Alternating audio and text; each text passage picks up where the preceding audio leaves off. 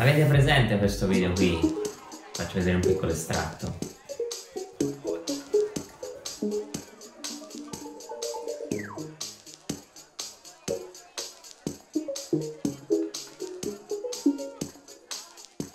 Sì, lo so, sì, l'avete presente, anche perché è, super popolare. Questo è il set di Solomon per Boiler Room a Tulum in Messico, che ha superato 20 milioni di visualizzazioni su YouTube. In realtà non è il più visto della serie perché poi è arrivato Recard Cox con il suo set a Ibiza, vabbè lì ancora più facile.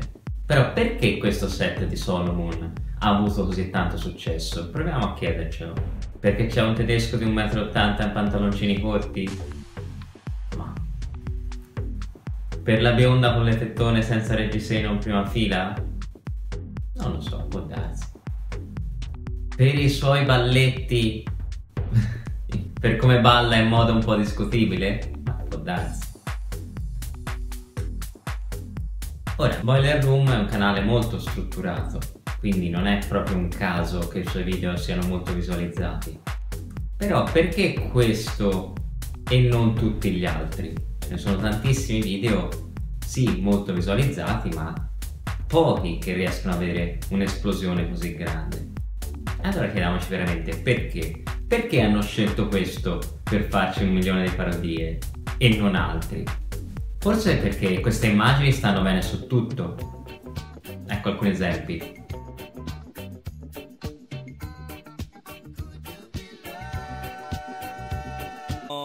No es así, no es. Ponme tu eso pa'lante, pa'lante, pa'lante, pa'lante, pa'lante, pa'lante. Ponme tu eso pa'lante, pa'lante, pa'lante, pa'lante, pa'lante, pa'lante. Ora, in realtà Boiler Room non l'ha presa molto bene di tutte le parodie che venivano fuori e hanno iniziato a tirarle giù tutte da YouTube. Quindi, guys, I'm sorry, I'm just kidding, but this is a serious content about your video, so please don't shut me down.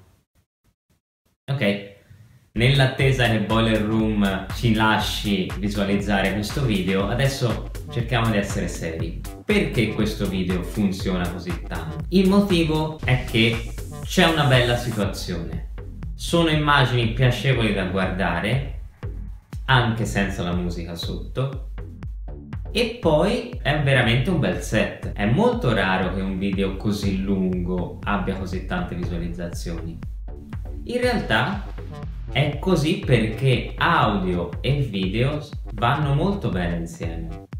È per questo che ne parliamo oggi, perché un set funziona anche, lasciamo stare, qui siamo ad altissimi livelli, ma in generale, anche nel nostro piccolo, un set funziona se le immagini e la musica vanno di pari passo. Se Solomon se ne fosse stato impalato lì tutto il tempo e anche le persone prese per i cavoli suoi, questo video sicuramente non avrebbe avuto tutto questo successo, anche con la musica più bella del mondo. In realtà lo vedi che c'è una situazione vera, perché tutti ballano fuori tempo, però si stanno divertendo, e anche lui stesso. Quindi funziona, e funziona anche solo per le immagini, che infatti si trovano spessissimo nei locali, con qualsiasi tipo di musica diversa e allo stesso tempo è veramente un gran bel set. Quindi immagini e suono che funzionano di per sé e insieme rendono una miscela veramente speciale. Questo è quello che possiamo apprendere anche nel nostro piccolo da questo video e cercare di portarlo nella nostra performance tutti i giorni. Cercare di comunicare sia attraverso noi stessi per come ci muoviamo, per come ci poniamo e sia soprattutto con della bella musica. Lo vedi che non è una platea finta, ce ne sono tantissimi video creati ad arte per fare visualizzazioni e magari funzionano anche, ma non hanno tutto questo apporto come hanno video di questo tipo. Perché pur essendo un set costruito, è reale, è una situazione reale dove le persone effettivamente se la stanno facendo prendere bene ed è questo che dobbiamo ricercare ogni volta che facciamo qualcosa. Immagini e suono insieme.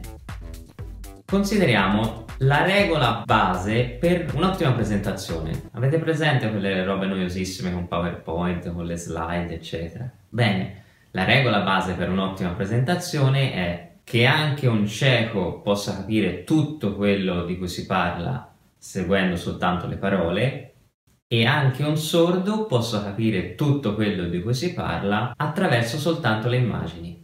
I due elementi combinati ci dicono tutto quello di cui abbiamo bisogno e nessuno dei due è carente in qualche aspetto. Ognuno è sufficiente di per sé. Questo è il motivo del successo di questo video di Boiler Room e questo è quello che dobbiamo ricercare ogni volta che ci poniamo di fronte a dei cubi. E anche da questo spunto che mi è venuto di inserire i sottotitoli nei miei video.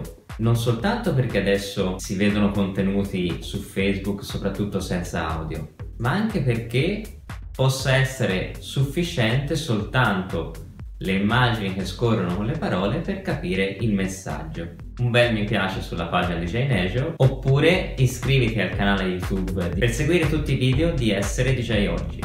Alla prossima!